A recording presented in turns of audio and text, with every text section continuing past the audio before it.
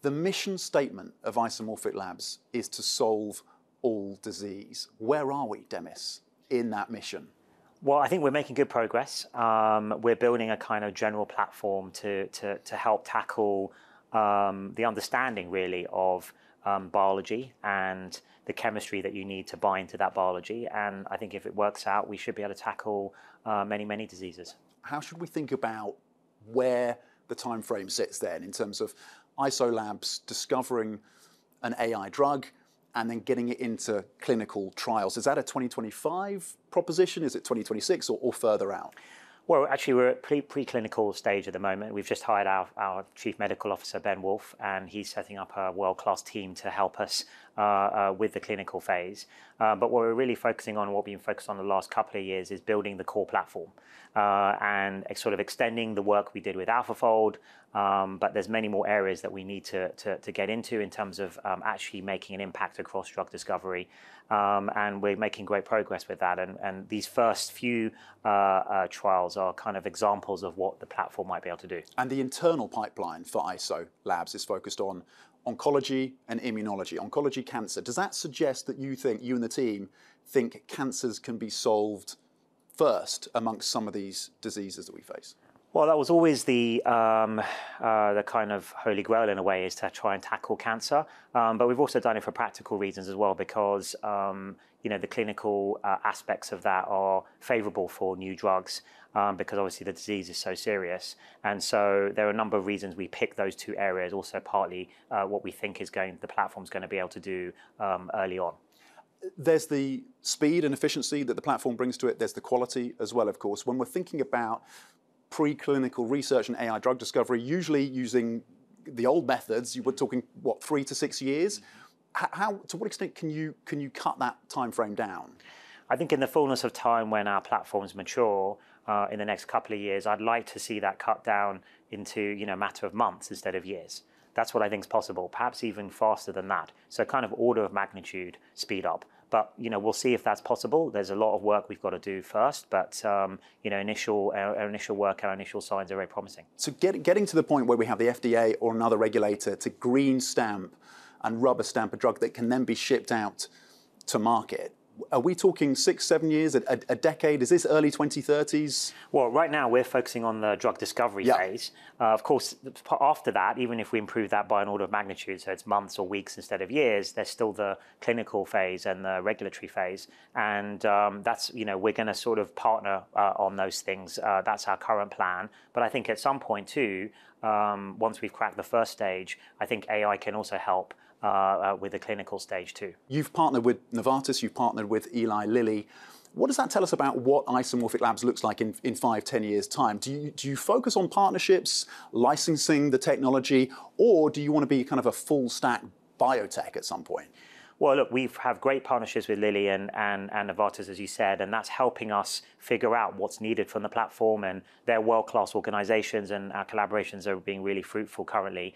Um, but with our internal programs, you know, everything's on the table. We'll see those are going well too, and, and we'll see how far it makes sense for us to, to carry that through. And do you look to deepen those relationships with Novartis and Eli Lilly beyond where they already are? Yes. So um, we, you know, we announced earlier this year uh, an expansion of our Novartis partnership from three targets to, to six targets, and um, and both both uh, collaborations are, are going very very well.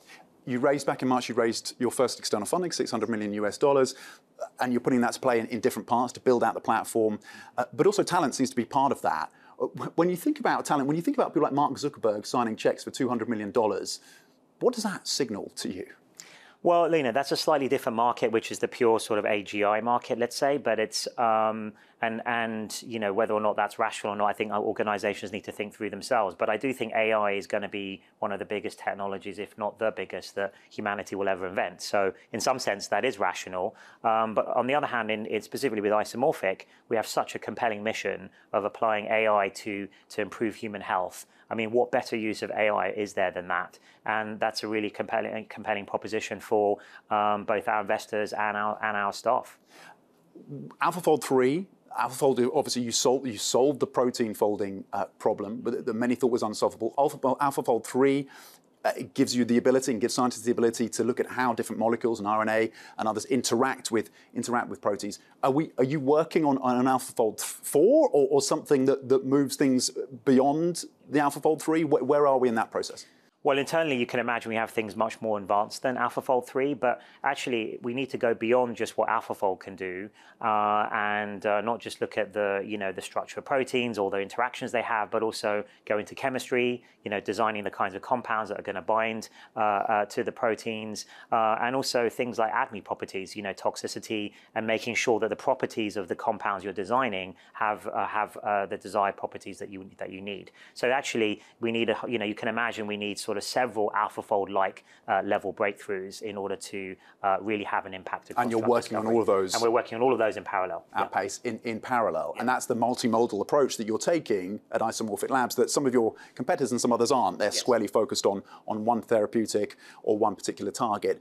Just, just unpack for us why that makes sense to go the route that you're going then. Well, we're trying to do it in this very general way. So we're, we're not just trying to find, you know, solve one disease or find one th- therapy although that would be great, um, we're trying to build a platform that can revolutionize the way that we do drug discovery completely, and potentially in the future, you know, discover hundreds of cures. And so to do that, we need to focus on the platform capabilities more than any single uh, therapy or single uh, disease.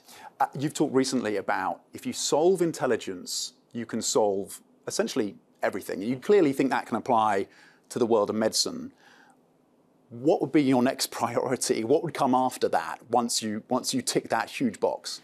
Well, I think medicine is always the, the and human health has always been the, the, the first thing I wanted to apply AI to, that kind of powerful general AI to, and we're doing that with Isomorphic. But I think uh, there are many other really important areas like energy, um, helping with uh, material design.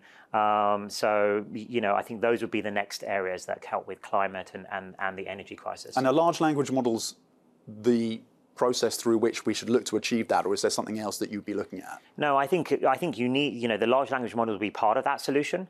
Um, but just like with isomorphic, I feel like for a lot of these scientific areas, you also need more specialized models that are using these general algorithm ideas, but they're also adapted to that particular specialized scientific area. Uh, and I think for the next five, ten years, that's what we're going to see.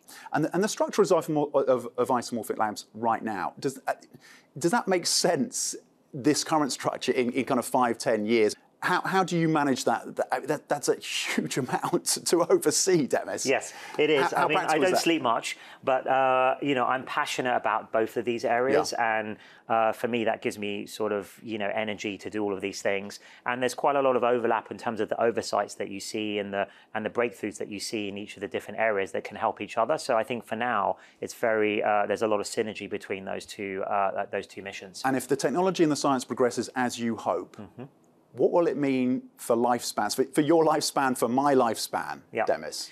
Well, look, I think the first step is, uh, I think it's an empirical question. I think the first step is let's let's find cures to some of these terrible diseases. Let's increase uh, healthy lifespan to begin with, uh, and then we'll see where we go from there. But we could be in an environment where you and I have elongated lifespans if the technology comes together? Potentially. I mean, of course, it's an open question what aging is. Is it a is it a combination of all the other diseases, or is it something you know specific itself? And uh, you know, you have different experts. And I'm not an expert in that field, saying different things. So I think the first stage, which is unequivocally uh, uh, going to be a good thing to, to, to progress, is to is to cure the diseases that we you know we, that affect us today.